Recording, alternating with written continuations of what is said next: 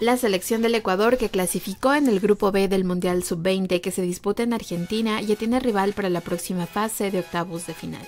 Se trata de Corea del Sur, rival que eliminó en semifinales en el Mundial de Polonia 2019 a la Tri, y por eso es conocido este partido con sabor a revancha se jugará el próximo jueves 1 de junio, 16 horas hora Ecuador, en el Estadio Santiago del Estéreo, a Corea del Sur, que se clasificó como segundo en el grupo F. Ecuador ha mostrado ser un equipo muy fuerte en defensa donde solo ha encajado dos goles y ambos son remates de larga distancia, una tarea a mejorar en la tri. Sin embargo, Miguel Bravo tiene un problema para su encuentro ante Corea del Sur, ya que están en duda Mikey de la Cruz y Cristian García, defensores de buen rendimiento que están siendo titulares.